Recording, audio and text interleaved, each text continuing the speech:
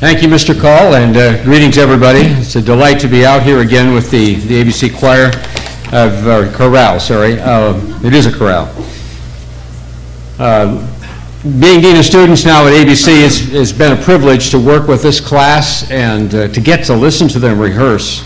My office is right at the end of the hall near the uh, entrance to the meeting room and right, right just across from the door to where the Council of Elders meets in the conference room. But when they're practicing all through the first semester and, and even now, they practice regularly, I can hear them down the hall, from- in the lecture hall where they're singing, or if they have the section practic- practicing their sectional parts, uh, they'll do that in the conference room sometimes, and it has been a delight to get to hear the pieces of this basically Sabbath concert that uh, they performed for you here to the glory of God, and it certainly was. Uh, I, I think my favorite one right now, and if it wavers between the, the, uh, the last one and this one, but the God of Angel Armies is the, uh, the song that uh, I love. But I liked, I liked them all. I thought you were a marvelous voice. It was really inspiring for all of us. And we need to hear beautiful songs sung and to be uplifted and inspired by it. Oh, I did want to uh, add just a a tidbit of announcements. We have the uh, annual uh, Ambassador Bible Center Continuing Education Seminar, the long one that we have during uh, one week during June. Uh, The date for that this year is June 16 to 20, in case you would like to come down for it. The tuition is somewhere in the neighborhood, I think $75, uh, $80 for a married couple, uh, $80 for the two of them for a married couple. So that's uh, June 16 to 20, if you would like to join us for that. Seating is limited, we will pretty much cap out at about 65 participants. We reached that last year and the year before, uh, so if you're thinking of that, it would be good. You- you- What you do is you get a sample of the Bible classes that we teach at ABC uh, from various, the various uh, instructors. Also, with the, uh, the Women's Weekend in Cincinnati, as as was mentioned, is coming up, and some may have wondered whether or not we're going to have the Vertical Thought Bible class, which we've been doing on a uh, monthly basis on a Friday night, and the answer is yes, we are. Uh, Most of uh, the girls, I believe, will be at the Women's Weekend, which is fine. Uh, We're going to address an interesting topic. It's entitled Man to Man. How does Jesus Christ define man today? Man to man. How does Jesus Christ define man today? I think it's timely, it's important, and uh, so that's what we'll be covering at that time. Mr. Fenchel and I will be doing the tag team presentation. Um, One month, I do the presentation, the next month, which was uh, February, he does a presentation, and then the third month, we we do it together. So uh, this is the the tag team uh, instruction that we'll have that day. So I was, just wanted to touch on those and uh, mention that Ambassador Bible Center is going well this year. We're looking forward to another class next year and re- beginning to receive uh, the applications. If any of you out here have been wanting to go and this is the year that you're thinking of it, then please sure to uh, check with us about an application. I thought I would start uh, the, the message today. I'll work into what the title is, and, and I think you'll find that it's interesting. It always inspires me. But I was mulling over a passage in Ecclesiastes 7. A good name is better than precious ointments. A good name. And we don't just mean the name, a really cool name like, um, I don't know, uh, what's Mr. Gildersleeve's first name? I've forgotten. On the old radio show.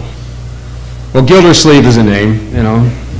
I don't know if that's a good name, uh, but it, that's not really what name means here. It, it means your reputation, who you are. It's more than just the sound of the words. What you don't notice in that verse, that's verse 1 of chapter 7 of Ecclesiastes, is there's a Hebrew word play. And believe it or not, there are at least 500 puns in Hebrew, in the Old Testament alone, at least. I have a collection of 500 of them. This is one of them. The word for name is she'em. In English letters, we would spell it S-H-E-E-M, S-H-E-E-M. And the name, the word for ointment is shemen, S-H-E-M-E-N.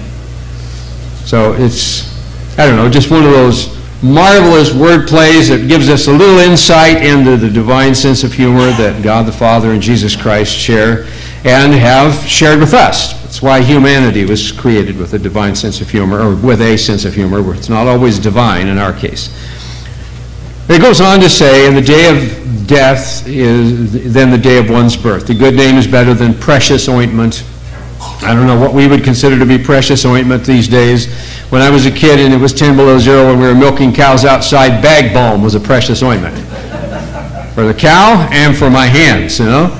Uh, but we, we have precious ointments with poisons in them today, so it, you, you have to think of something that's really got the pure ingredients, really nice lotion or something that's truly magnificent and fragrance and, and healing power for the skin, that sort of thing. So a good name is better than precious ointment, in the day of death and one's birth. It's better to go to the house of mourning than to the house of feasting, and it seems like a dichotomy, but that's what God says. For that is the end of all men. And the living will take it to heart. So there's something we learn. Sorrow is better than laughter. For by a sad countenance the heart is made better, it is strengthened. The heart of the wise is in the house of mourning, but the heart of fools is in the house of mirth. We all face troubles and trials, and certainly you all, and, and especially the Shoemaker family, have faced a trial that is expressed by these poignant verses. And sometimes we need a boost. We know that God loves us, but how exactly can we picture that love of God in our mind? You know, what can we look at in the scripture that gives us a perspective? Maybe not a, a, list of instructions, but gives us a picture. You know how a magnificent portrait is something you can stand and look at and admire and admire and admire. And the only thing better is to stand and look at the actual scene, except it keeps moving, whereas the portrait is freeze framed and you get to study the details of it. And by portrait, I mean not necessarily a person's face, but something with background, magnificent building, gloriously beautiful mountains, whatever it might be, powerful river. Well, I think this is something that we might find helpful this Sabbath. We need to know where God's love for us comes from. We don't often talk about it that way. We just talk about the warm feeling inside, the emotion of God's love. Emotion isn't good enough. You want convictions. Surface emotions are okay, they enhance life, appreciate that. But when everything is said and done, they're vapor. What we really need are convictions. Those are feelings that aren't just feelings. Those are feelings that are based on truth and character and a solid decision to do something and to be somebody that God wants us to be. Now, here's, a, here's an interesting point, and this is this is really an advertising for another sermon I'm working on right now. The front the, front of the human brain is called the cerebral cortex. Uh, it was Ogden Nash that said uh, when, they, when they do a frontal lobotomy, it weakens a person's will, but it's a brain surgery that has big impact on the mind. Ogden Nash was a silly poet back in the 30s, and he said, I'd rather have a bottle in front of me than a frontal lobotomy. Well, he's talking about the cerebral cortex. That's the part of the brain where it, it, they map brains now. Well, you know, they can do that by which part of the brain is is firing its synapses and giving off its little electrical pulses that they can measure when you're doing math or analyzing something. And that's, that's up front. Then once you have analyzed something, you've determined that it's valid, then there is, when you, over a period of time and repeatedly analyzed it, it takes a number of times for this to happen, then that shifts to the midbrain. But in the midbrain is also where emotion registers. That's where your feelings, you know, as far as the, the, the, the brain being a marvelous organ that God made, that's where the, the emotions are processed in the, the midbrain, is what they refer to it. And there's a nice fancy Latin term for it, which I can't remember right now. But in English, we would understand it more as the midbrain. And that's where emotion takes place, but that's also where the convictions are stored. That's where that rock solid recognition, in our case, of God's truth is stored as far as the, the brain location. Of course, it's stored in, in, in the spirit in man, that which gives us intellectual capability that animals don't have, and is stored in the connection of the spirit in man and God's spirit after conversion. So, what we're looking at is something that is going to hit there as conviction and will be enhanced by emotion, but it is that marvelous picture of God's throne. You ever think about God's throne, where, where God's love comes from, because that's where He is. Uh, let's go back to Colossians and start wading through the power of God's throne. Colossians chapter 3 in the New Testament. Colossians chapter 3 is, uh, the Apostle Paul here is, is bringing out a particular point. He says, uh, we'll look at the first uh, one, two, three, uh, four verses. Let's do the first two to start with. Verses 1 and 2. If you then were raised with Christ. Now, what he is referring to here he wrote, was also inspired to write in Romans 6, that when a person goes into the, the water and is immersed in the water, it's like a, a symbolic gra- a burial. And then you come up out of the water and you walk in newness of life. You're raised up out of the water. Symbolic of in, anticipating the resurrection when Christ returns. So if you then were raised with Christ, because Christ hasn't returned yet, so this is a raise that is reference to the baptism. Then seek those things which are above. Now, you have settled what your spiritual convictions are. And they're logged deeply in the brain and in God's Spirit that works with the brain. Seek those things which are above. Where, and when it says which are above, it's the next part of the sentence, where Christ is sitting at the right hand of God. That's on his throne. Actually, it's on the Father's throne. Christ sits on the throne with the Father. So it makes me wonder is it two thrones, two separate chairs? The thrones are typically chairs. Um, or is it a bench? You know, we talk about the, the bench in reference to the judicial bench, uh, and lawyers, you know, being on the bench in, the, in that sense, because they can sometimes be judges. But whatever the case, he is sitting at the right hand of God the Father, on the throne of God. So we should consider those things that are above. Seek the throne of God. What does it look like? What is, what is the impact it should have in our minds? We talk about God's love, but we seldom paint the picture of his throne. Set your mind on things above. Looking at the throne of God can have a powerful impact for the good, an inspiring impact. You can be totally uplifted by thinking about what God's throne is like and the fact that it's God's throne and He's on it. And He's watching you think and reading what you think. Set your mind on things above, not on things on the earth, for you died, and that was through repentance, and your life is hidden with Christ in God. His shed blood covers our sins. And when Christ, who is our life, appears, then you will also appear with him in glory. And so will all of our spiritual forebears. We'll all be there.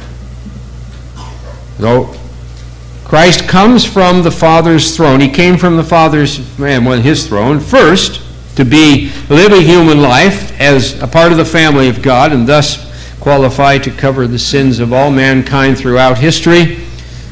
And he will come again it's time to establish his kingdom upon the earth, and that's, that's you know, the not too distant future. Let's go to another place where the Apostle Paul was inspired to write about it. This is in 2 Corinthians chapter 13. There were a number of men who had visions of God's throne. They saw it in vision. Um, some of the prophets, some of the apostles. Uh, Here's where Paul saw the throne, 2 Corinthians 13. But Isaiah also had a vision. It's recorded in Isaiah 6. Fascinating to read. He had a vision of God's throne, and he was totally awestruck by it. Now, we aren't necessarily going to, did I say 13? I mean 2 Corinthians 12. We aren't necessarily going to be awestruck as much as Isaiah was because he was speechless. He fell on the ground as if he was dead. And then in Ezekiel, let me see, that's chapter 3 and 4, I believe, in Ezekiel. You can double check that. He also was given the vision. He saw the throne of God in vision. Not literally, he didn't go to heaven, neither did Paul here. He saw what it was like. God revealed it to him. And God can do that. He can, we can, he can transfigure himself. He did that in front of Peter and, and James and John. In Matthew 17, one of the places that's recorded, called the vision of the transfiguration. They didn't go to heaven and they didn't see Moses and Elijah because Moses and Elijah are in their graves. But they will appear just like they appeared in the vision that those apostles got to see. And Christ was transfigured before them, so they saw what he looks like in his glorified condition. Well, that's what it is like to study God's throne. So here it is in so Paul's opportunity in vision, un, uh, you know, a surreal amount of uh, perception, so it makes him wonder, was it a vision or was I there? And he, he doesn't say it was him, but he says somebody he knew, and we pretty well figure it was him. It is doubtlessly, doubtless not profitable for me, in verse 1 of 2 Corinthians 11, or, or chapter 12, rather. It is doubtless not profitable for me to boast. I would come to visions and revelations of the Lord. I know a man in Christ who 14 years ago, whether in the body I do not know or whether out of the body I do not know, God knows. It was so real. Such a one was caught up to the third heaven. Now, let me pause there. The third heaven is where God's throne is. That is, when we talk about heaven above, that's what we're talking about. Now, you might ask, so what are the other two heavens, if that's the third one? Well, the first heaven is where the birds fly and the jets fly. And the second heaven is deep space. And the third heaven has a spiritual address. Everything else is a physical address. Spiritual, the third heaven is where God is and that is a spiritual address. We don't exactly know how it juxta- juxtapositions with our physical addresses, but God knows, so we don't have to worry about it. So he was caught up to the third heaven in this vision, and it is a vision that really he's talking about. And I, and I know such a man, whether in the body or out of the body, I don't know. God knows. How he was caught up into paradise because it was where God was. And he heard inexpressible words which it is not lawful for a man to utter he heard God speaking. Of such a one I will boast, yet of myself I will not boast, except in my infirmities. For though I might desire to boast, I will not be a fool. I will speak the truth, but I refrain lest anyone should think of me above what he sees me to be or hears from me. So that's why he used the literary technique of uh, I know this person who had this vision and literally saw in the vision God the Father and the Son in the third heaven. Paul's vision was remarkable. You know, it is the true paradise, uh, the, the true ultimate experience, which we will also experience in the kingdom of God going into eternity. Although the kingdom of God won't be in the third heaven. And that's a radical and remarkable thing that we, have, we understand as a part of our inner convictions, for we came to understand it from God's Word. It'll actually be on earth. Granted, it will be a new earth. A new earth that will last forever.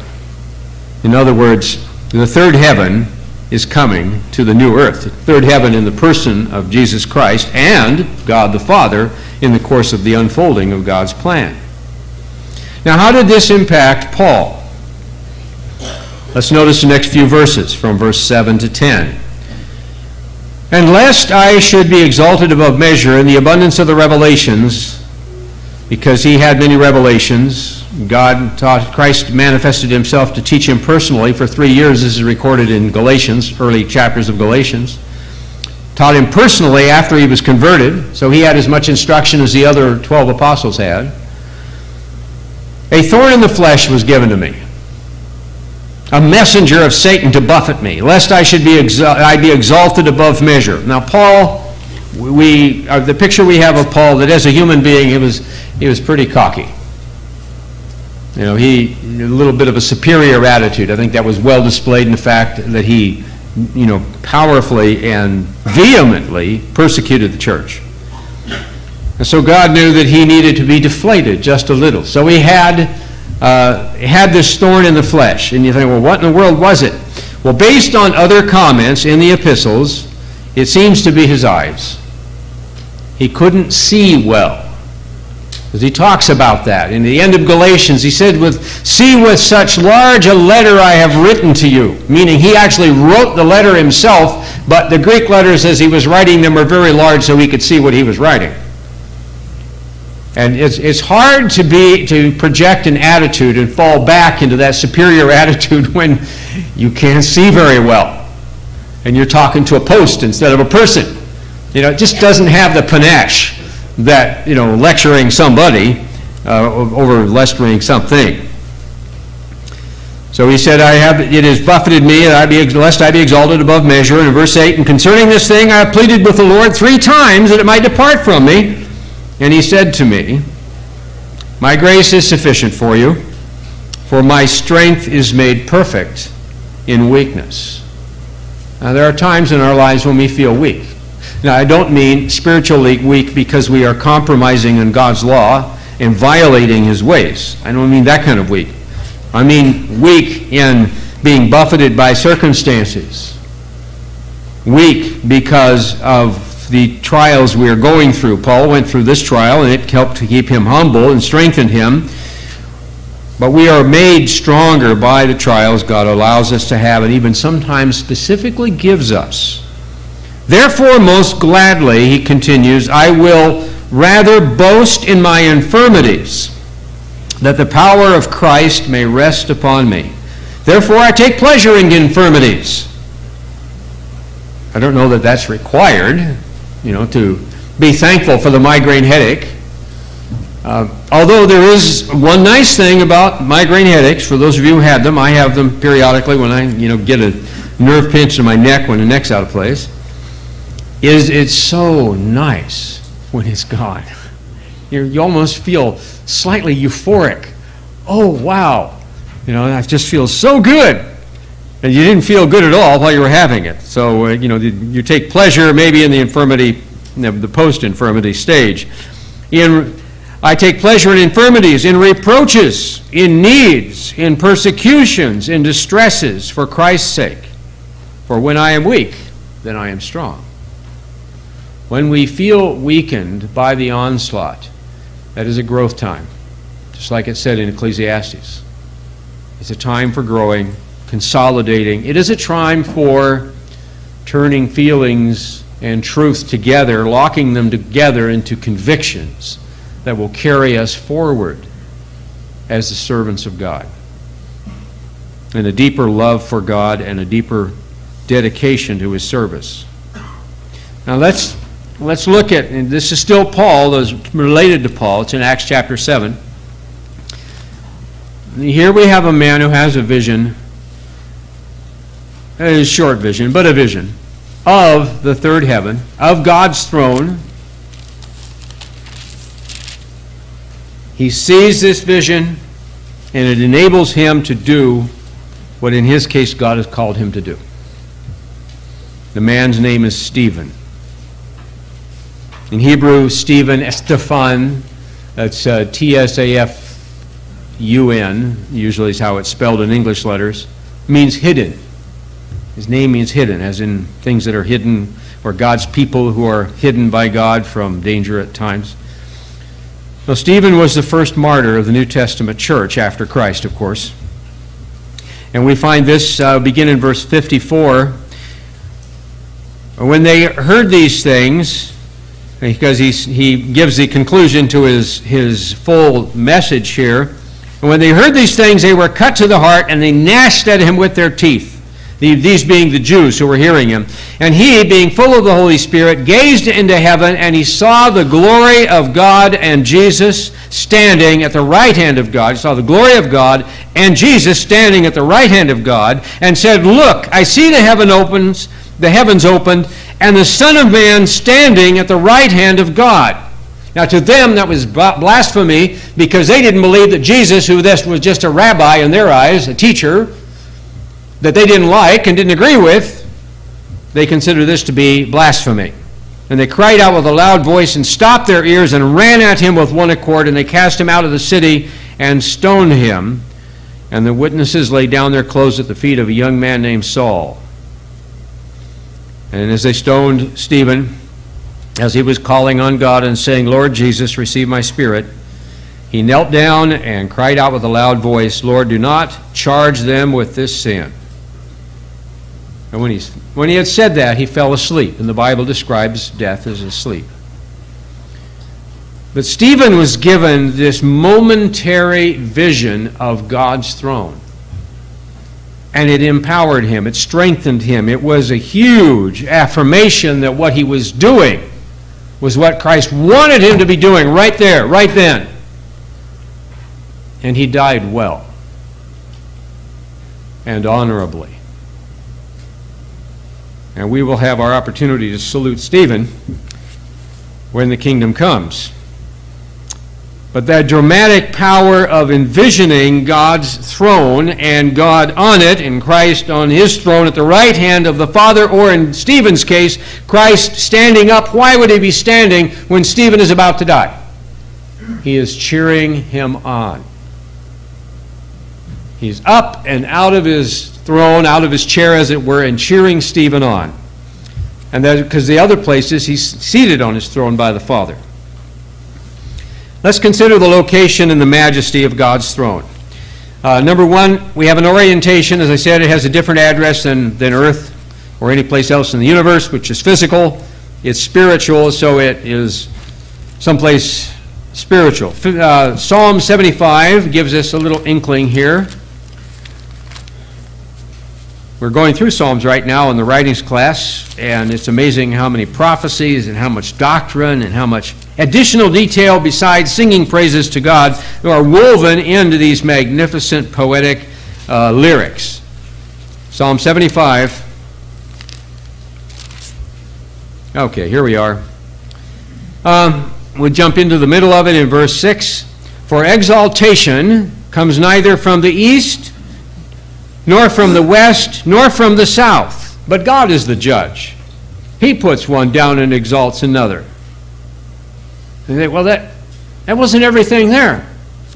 We got all three points of the compass, except that there are four. North wasn't mentioned. Somehow, exaltation comes from where God is. God is where his throne is. And somehow, the throne, which is in the third heaven, is north of the earth. Now, I don't know how the physical location of earth transposes to the spiritual location of God's throne, but God says it's north, so it's north. This is affirmed in Isaiah chapter 14.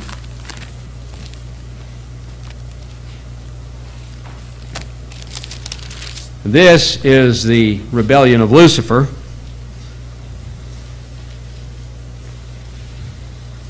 Starts out as a as a uh, judgments against a particular king of Babylon. It doesn't list who the king is. But the poem, as poems can do, can take a turn. And suddenly you're talking about one person, and then suddenly the tone changes. This isn't that person, this is somebody else and not somebody else's actually named, starting in verse 12. How you are fallen from heaven, O Lucifer, son of the morning. How you are cut down to the ground, you who weakened the nations. For you have said in your heart, I will ascend into heaven. Now he's an angel. He's going to go to heaven. I will exalt my throne above the stars of God. Well, the stars of God, that's symbolic language for angels. It's used a number of places in the Bible. So he was a leading angel in his day before he rebelled. So he, he was going to exalt his throne above all the angels. But he goes on I will sit on the mount of the congregation on the farthest sides of the north. Hold it. That's where God is. Yeah, that's what he just said. He's going to take God's throne. That's Satan's attitude. He wants God's throne. And it's not his to have. It's not his to have. But it is in the farther sides of the north. So you see it's connected. He goes on with this I there are five eyes here. I will ascend, I will exalt, I will sit, I will ascend, the second time, above the heights of the clouds. I will be like in the King James the the, the like is in italics, and so it's added for try to make it clearer. But if you take it out, I will be the Most High. He wanted to be God. That's a technical impossibility. But when you're demented, impossibilities don't seem to register. And the devil is demented. In fact, his name was changed from light bringer, that's what Lucifer means, or morning star, day star. It was changed to devil, which means accuser or slanderer, and Satan, which means enemy or adversary. But here we have the reference that God's throne is, in fact, the north. Now let's go to Ezekiel, because Ezekiel has some really remarkable, couple of really remarkable things to see, say about God's throne and, and the impact that it have, has on us. Um, First, let's note uh, Ezekiel 43, and we'll back up to verse chapter 28 in just a moment. But in, in, chapter 43, now 43, chapter 43 is in the middle of chapters 40 to 48, which is brings the conclusion of Ezekiel. Those eight chapters, or is it nine? It would be nine chapters if you're counting 40. Describe the millennial temple. Now, Christ will come back from Revelation 20. He'll return to the earth, and he will rule from Jerusalem for a thousand years. He will rule all the earth, and all the nations will be ruled by him. And then there's another time after that, and until it's time for the Father to come. Uh, but we won't get into all those details today, but suffi- sufficient to say he'll rule for a thousand years. He will have, because Jerusalem will still be a physical city, although Christ is spirit, and the resurrected saints are spirit, and with the capability, as Jesus did in the Old Testament before his human birth, manifesting himself physically as needed. Uh, he will rule from the temple in Jerusalem, and it will be different uh, than the temple of Solomon, bigger. Being a student. He will rule from the temple anyway, services in Jerusalem, and it will be different uh, than the temple of um, Solomon, bigger. Being students now at ABC has, has been. We've heard that before. You know, this happened one other time that we didn't hear it during the service. It was in the Feast in Reading back in 1996. I gave a sermon called the Submarine Sermon. It had a better title than Submarine, but we were, it was uh, imagining that we were in a submarine, you know, looking under the sea to see how the waters cover the sea because the knowledge of God will cover the earth like that in the millennium. And when it got the recording, it had a nice clear channel for 20 seconds and then it started again.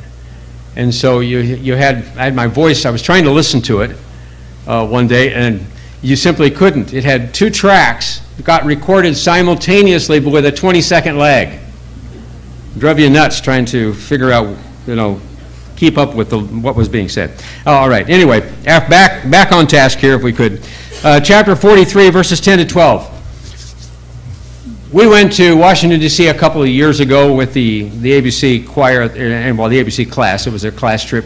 This class gets to go to Chicago to see some of the impressive sites there. And there are a number of things that are impressive that man has built in, in Chicago and certainly in Washington, D.C. I was truly impressed by some of our great national buildings. You know, kind of saddened, too, right now, when you go and consider what this nation is doing and in ways it's moving away from the values of, the, of God's Word, what, what the ones it did have. But I was still impressed by the buildings. They were really amazing. Uh, I remember also years ago when I attended Ambassador College when we had that, and we, Linda and I were attending uh, in England at the English campus that we had in those days. This would be the 70s. We had a faculty member who became a member of a gentleman's club. He was a, a, a Briton, an Englishman. Uh, completely independently wealthy. He was also in the ministry and served as our business manager. But he joined the, the Reform Club. Now, if you've ever read the book or watched uh, one of the movies called Around the World in 80 Days, uh, hopefully you have. If you haven't, there's a, there are a couple of good versions of it that are just a delight to watch. Phineas J. Fogg is the hero of the story. And he is a member of the Reform Club. And I had no idea, being an American from South Dakota, that there was such a real club. I thought it was fictitious. Great story. I loved it when I read it. Came to, went to England to Ambassador College, and what do you know, there was an actual Reform Club. And when this, this minister, uh, Mr. Bergen, got to be a member of it, and the only way you could become a member of it is you had to be quite wealthy and have, you know, a very distinct family line that would be in the gentleman class and almost the nobility class. And then six people had to vouch for you who uh, were of equal standing in society, the proper English way. America doesn't do that. Uh, well, I guess we do, but not quite as proper as the English. And then somebody had to die of old age. And, and then you could be in the Reform Club. So he got, he got in. Uh, that was my last year. We went to dinner there a couple of times, actually.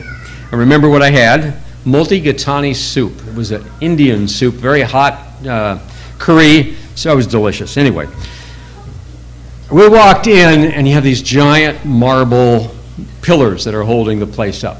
In the front, outside, and then on the inside and I, as I looked at the building, both outside and inside, I was impressed. This spoke British Empire like nothing else. It was more impressive than Buckingham Palace, which looks like a really big house, uh, maybe an apartment building. You know, it's just not that impressive. But the Wig and, but the, that that club, the Wig and Pen Club, was another club he was part of. Um, you had to be a corporate lawyer to get in there. It wasn't quite as impressive, but it was an older one. But the Reform Club was truly an impressive building. All right. Point made. Let's go to chapter 43, and uh, we want to read verses 10 to 12. Son of man, that's what God called Ezekiel all the time. In, in that sense, Ezekiel was a type. He was a human being, but a type of Christ. Some of what he was doing, Christ would carry on. And one of the key things about Ezekiel is that Christ himself referred to himself by the way he referred to Ezekiel, because this would be Christ before his human birth talking to Ezekiel in this vision that he was having. Son of man, describe the temple to the house of Israel. This is not the temple that they were familiar with, which in Ezekiel's day was destroyed, but this is the one that will be built in the millennium, and it's different, it's bigger, it's much more impressive even than Solomon's temple. Describe the temple to the house of Israel, and why? Why would he describe it? And get this that they may be ashamed of their iniquities or their sins. So, hearing about the temple should make them ashamed of their sins. Now, that you have to wrap your mind around have you ever looked at a building that made you feel bad about yourself and your behavior? Properly bad. I, I don't mean, you know, the, the bad where you need therapy. I'm talking about properly bad for, because of the things that you have done or haven't done. And let them measure the pattern, it goes on to say. And if they are ashamed of all that they have done and make make known to them the design of the temple and its arrangements and its exits and its entrances and its entire design and all its ordinances and all its forms and all its laws, by which the priesthood will go about their business of making offerings and conducting services and the singing that will go with it. Write it down in their sight so that they may keep its whole design and all its ordinances and perform them. This is the law of the temple. The whole area surrounding the mountaintop is most holy.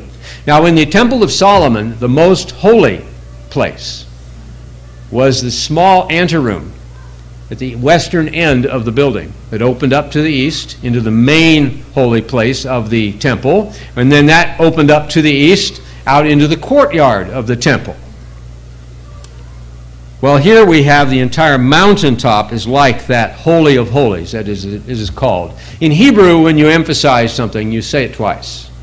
So, holy, holy is how this is recorded in Hebrew. That, that means good, better, best. Never let it rest till your good is better and your better best. That means it is the best. It's the superlative. Behold, this is the law of the temple. So here we have viewing the temple, which in the millennium will be where the throne, the throne of Christ will be located, is to make us feel ashamed of our sins. It is to take our breath away. It is to humble us before God. That's a good thing. That's a good thing because we see what God has made and that this is the location, this is the presence of God, this is where He is. In, in this case, uh, Jesus Christ. Later, God the Father will come down. We'll read about that in a minute.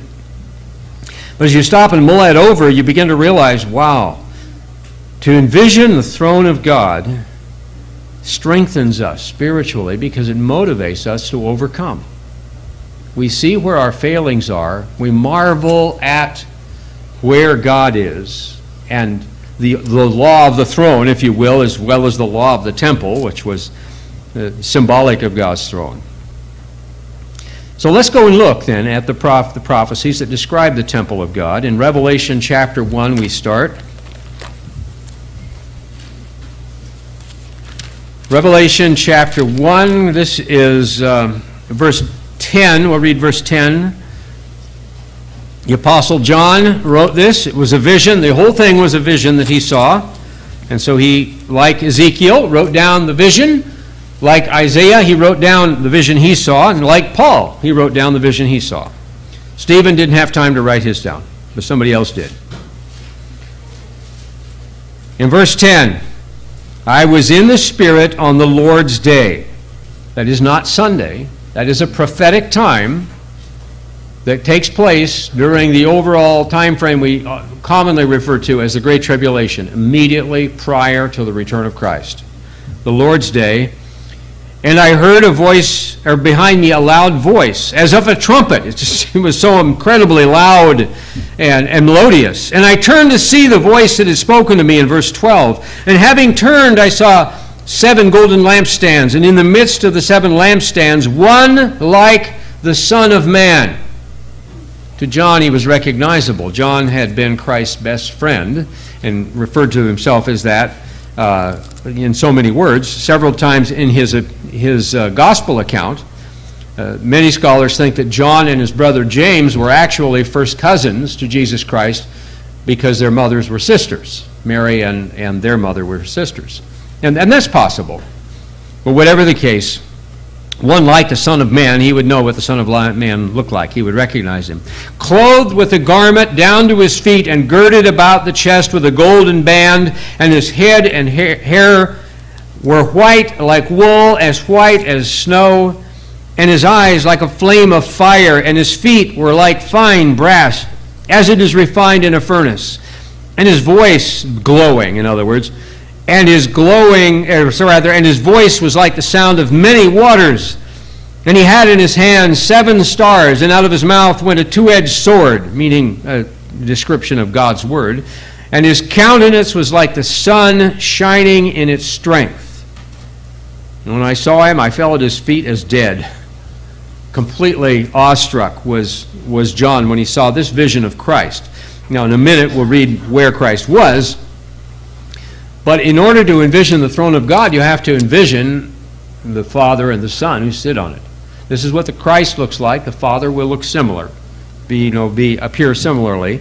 Today we're driving down on a beautiful sunny day, and you know, every so often you, the, the sun gets at a, at a certain angle.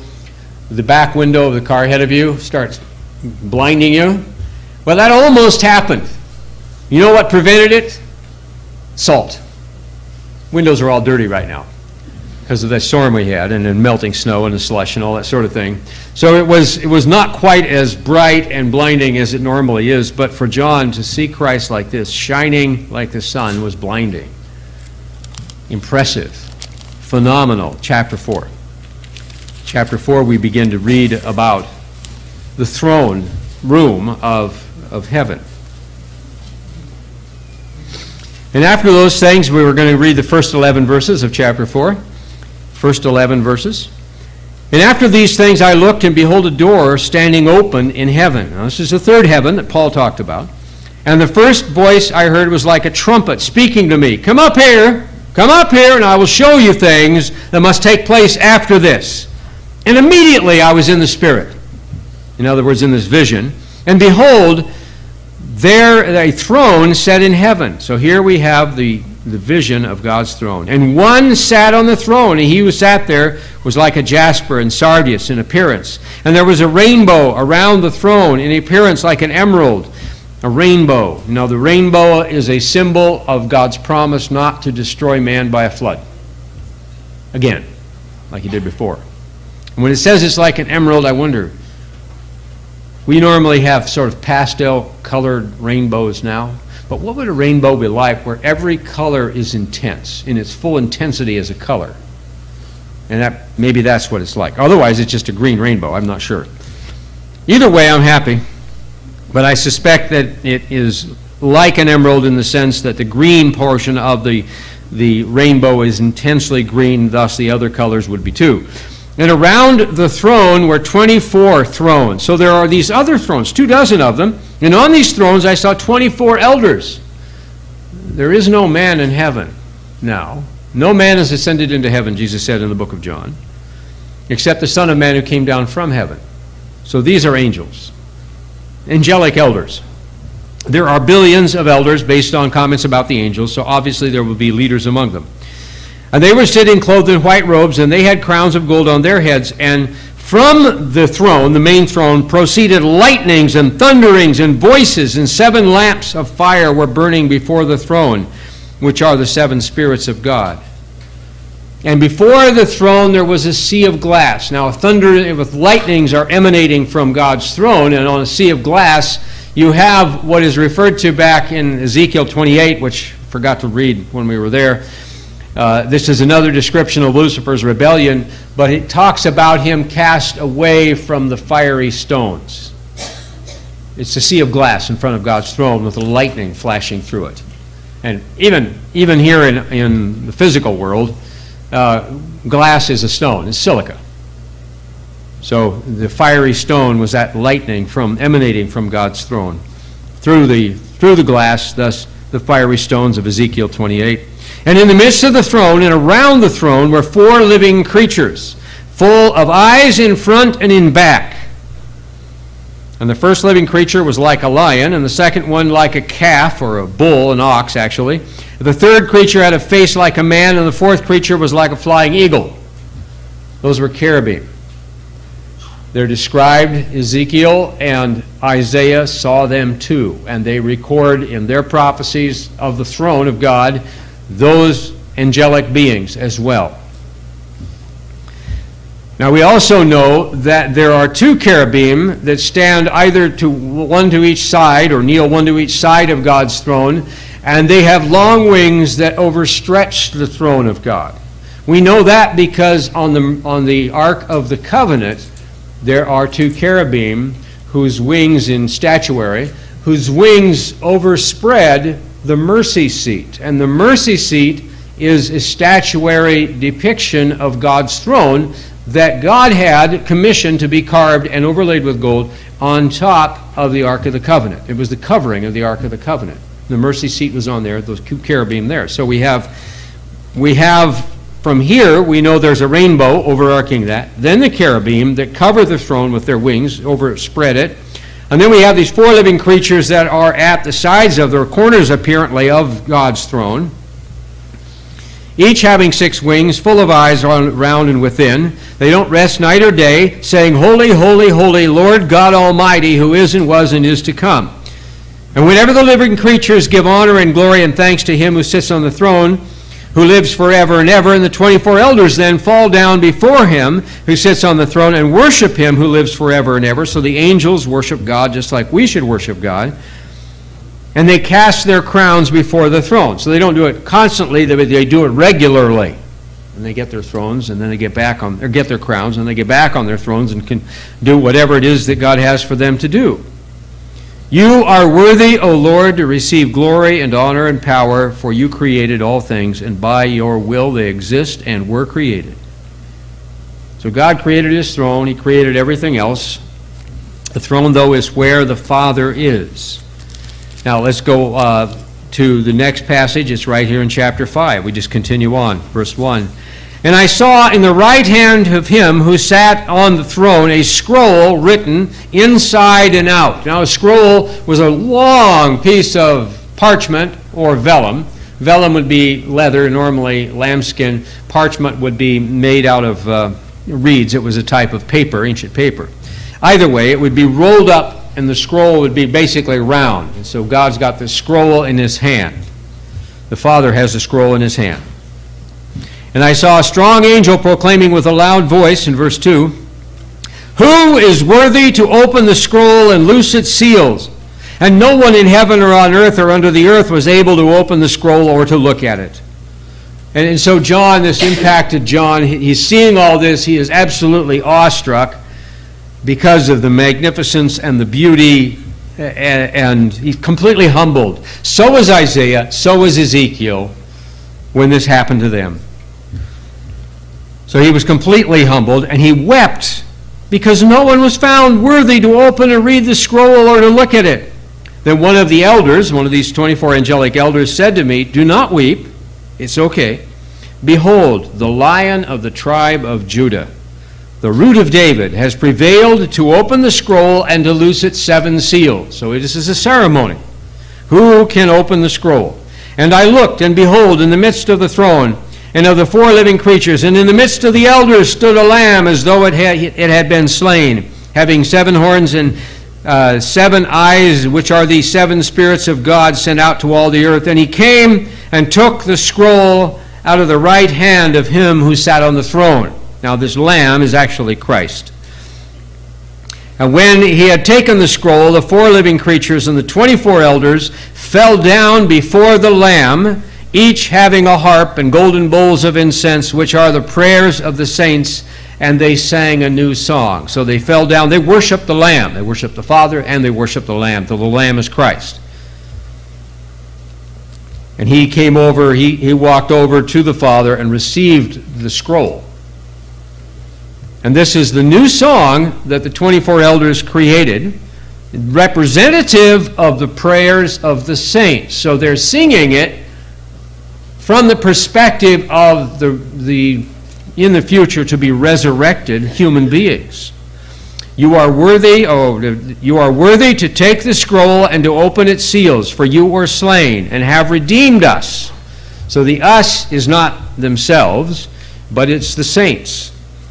You have redeemed us to God by your blood, for out of every tribe and tongue and people and nation, and have made us kings and priests to our God, and we shall reign on earth.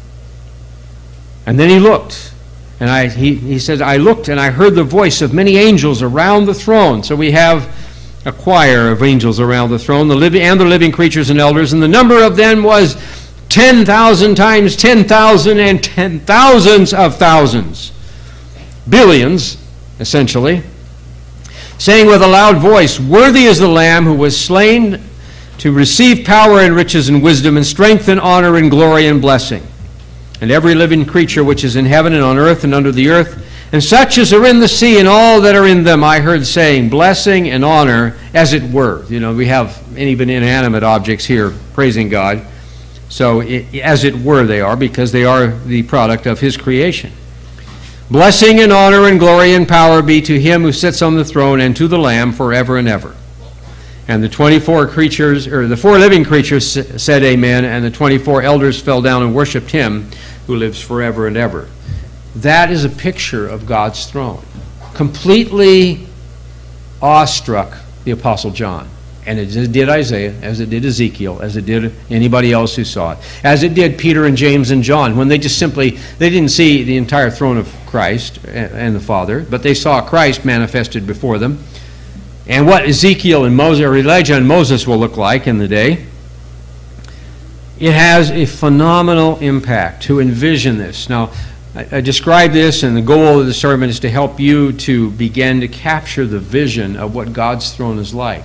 To try to imagine it sometimes when you're praying. What is it like? Where are my prayers going to? Because the prayers of the saints go to the Father. It's, we just read that. They're right there in, in verse 8. So, where's the destination? And sometimes, if we can see it in our mind's eye, It is a brilliant brightness and light. It's called a great white throne later in, in Revelation 20. And it is glorious and magnificent beyond anything we've ever seen physically. It pulsates with the power of all existence. It is the place of the Father and the Son, who made everything and everybody. That is the, that is the direction we are sending our prayers north, somehow north. And to imagine that, to think about that, and to realize that exists, it has always existed. And here we are on this physical earth in our physical bodies, anticipating the time when we will share that level of existence with the Father and the Son as His children in the kingdom of God. But just sometimes you need to think about what God's throne is like. There's another reason, too. Let's go to Hebrews chapter 4. Hebrews chapter 4.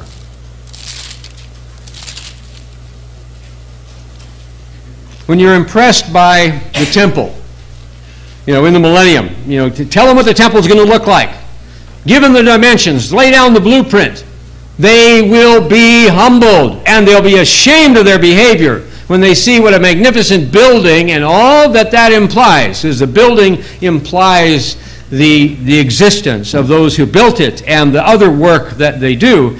And the, tab, the, the temple of the millennium, as even Solomon's temple was, was impressive and awe inspiring that the hand of man, which was created by God, could put that together according to God's directions.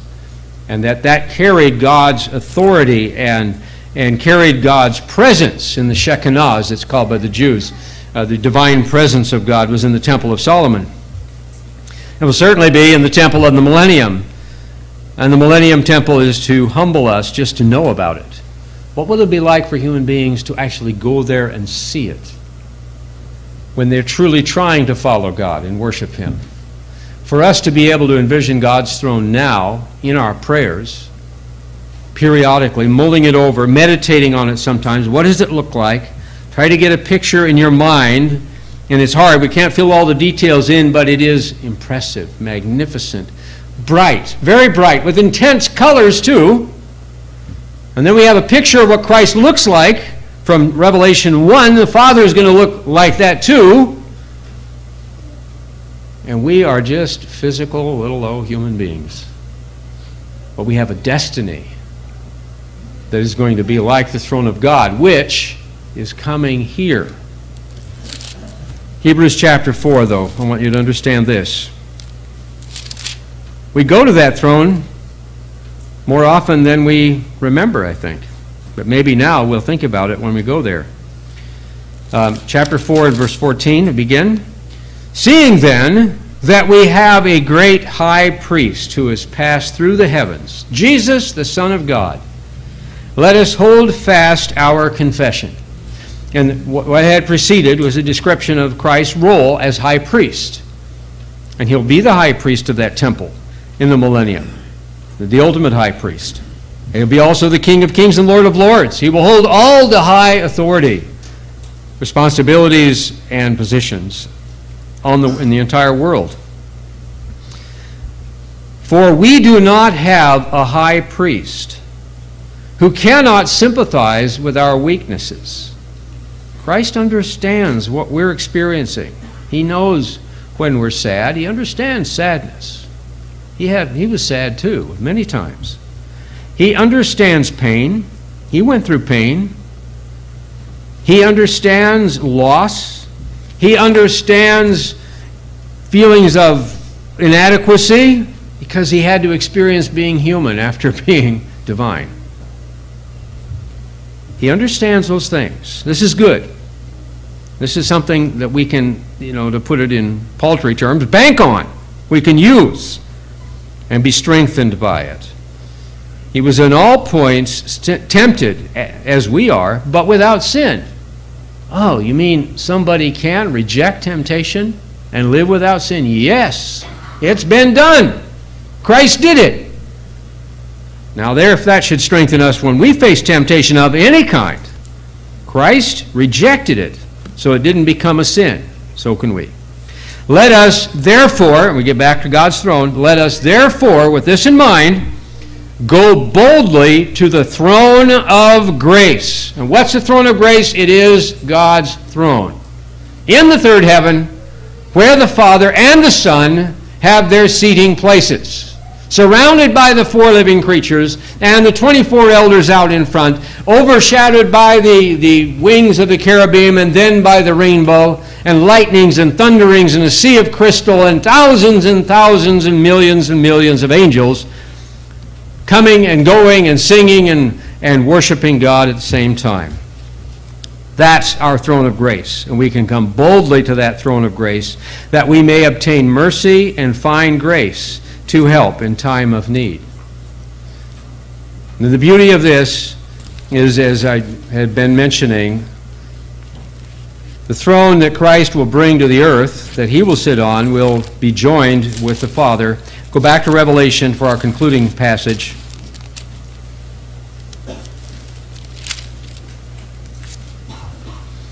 Verse 1 of chapter 21 talks about a new heaven and a new earth. For the first heaven and first earth has passed away, and there was no more sea. And then, John says in verse 2 of Revelation 21, the, I saw the holy city, New Jerusalem, coming down out of heaven from the Father, prepared as a bride adorned for her husband. And I heard a loud voice in heaven saying, Behold, the tabernacle of God is with men, and he will dwell with them. If Christ is already here, and we have now a new earth with a new heaven around it, and it would seem that it would probably be spirit rather than physical, now the Father comes down. The third heaven is vacated, and the new earth is the center of all that exists. And the marvel of it is, brethren, that that is where resurrected humans will be. Those who have come to Jesus Christ, accepted his sacrifice for their sins, repented of their sins, and have become overcomers, as is talked about in chapter 22. That is where they'll be. That's where the throne of God will be. And we are promised, also in Revelation, it was chapters 2 and 3, multiple times, that if we overcome and endure to the end, we too will sit on Christ's throne with him. The glory of God's throne is truly powerful and inspiring, and I hope that we can spend some time meditating on it, reviewing these passages, and thinking about the power of God's throne and being appropriately strengthened and humbled at the same time.